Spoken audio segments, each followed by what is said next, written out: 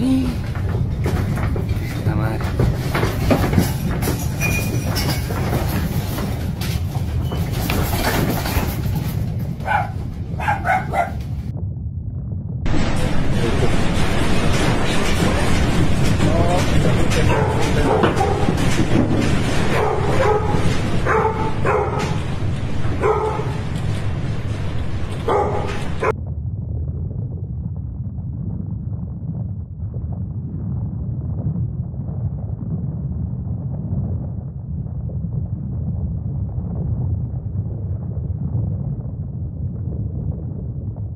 A shallow earthquake of magnitude 6.2 was recorded late at night near Curanilaue, Chile. According to the German Research Center for Geoscience, the earthquake occurred at a shallow deep and 10 kilometers. Shallow earthquakes are left more strongly the deeper one because they are closer to the surface. The exact magnitude epicenter and deep of the quake may be received over the next few hours or minutes of seismologists, review the data and refine their calculations or as other agents release their reports. Our monitoring service has found a second report from a network of civil seismologism, which also indicates an earthquake of magnitude 6.2. According to preliminary seismic data, the shock should be felt by everyone in the epicenter area. This area experienced dangerous ground shaking that could cause moderate the severe damage to buildings and other infrastructure. Cities or towns where an earthquake is likely to have caused no major shaking of the ground include moderate shaking likely occurred in Lebu, located 24 kilometers from the epicenter, Arauco, 30 kilometers.